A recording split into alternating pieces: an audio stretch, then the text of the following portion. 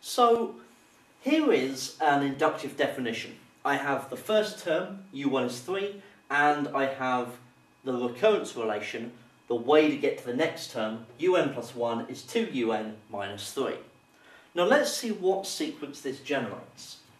So if I put u1 is 3 into this, then u2 is two lots of u1 take away 3. So 6 take away 3 is 3. So U3 is two lots of 3 take away 3, which is 3. And so on and so forth.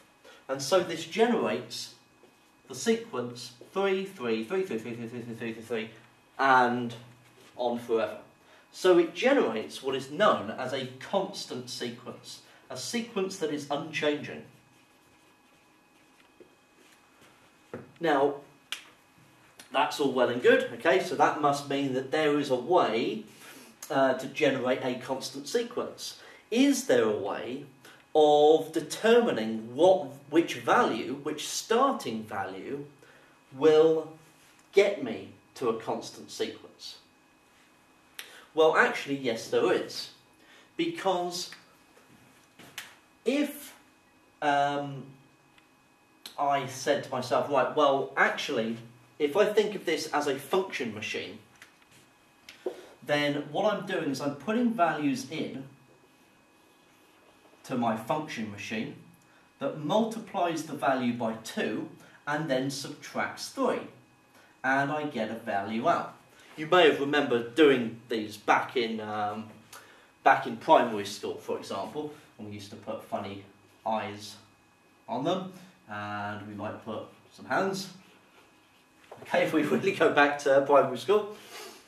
So the function is multiplying by 2 and taking away 3. Okay, right, well then I'm going to put that number back in. And so on and so forth. And I'm going to keep on putting that number in to that function machine over and over and over and over again. And what happens is that I just generate the same sequence. So the number I'm putting in is exactly the same as the number I'm getting out. Which means that if that's true, I could just replace the letter, uh, the un plus 1 and the un with L. I put in L, I get out L. So if I do that, if I replace the un plus 1 with L, and I replace the un with L, so the number I'm putting in is the same as the number I'm getting out, then I now have an equation that I can solve. So if I take L from both sides and add 3 to both sides, I get L is 3. So when the number I put in is 3, it generates a constant sequence. Let's look at another example. Okay. So, let's say instead I have, well, I'll keep the same first value.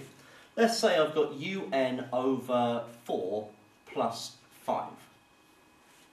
Okay? So this is going to generate me a new sequence.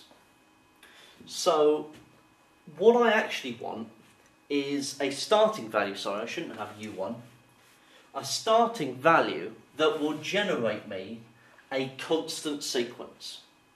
And so what I can do is I can say to myself, right, well, if I let the number that I put in to the function be the same as the number I'm, I'm getting out, so L is L over 4 plus 5, so I've replaced the UN with L and the UN plus 1 with L, then I can multiply through by 4, so 4L is L plus 20.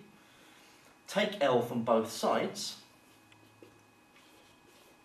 and then divide both sides by 3. So L is 20 over 3.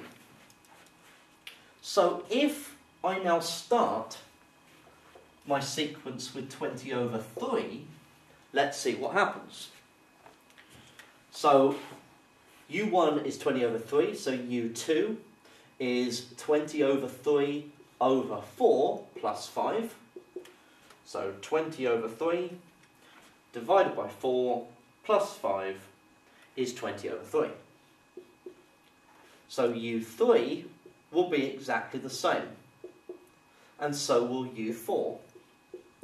And so I have found a way, a starting number, that will generate a constant sequence.